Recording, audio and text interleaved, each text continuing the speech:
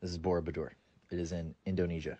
I always thought this temple was super weird because it's perfectly geometric except for the circles in the middle of the temple. They're like they're not quite perfect.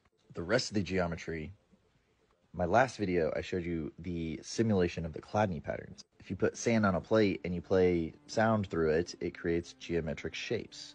But if you freeze the simulation right here, yep, it's perfect. They're not perfect circles because of the frequency. Each of the bells is a focal point for the frequency. That's why those circles are not perfect, except for the central one.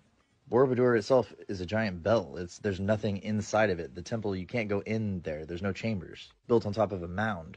It should be quite obvious now that this is used to focus something. And here's how deep the Buddhist knowledge actually goes. This is called laser interferography. Interferography.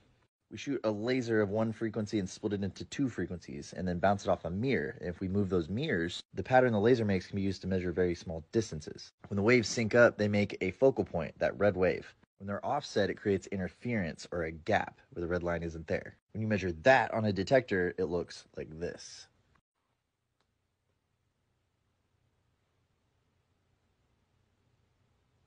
So it has a resonance, it focuses light on a volcanically active fault line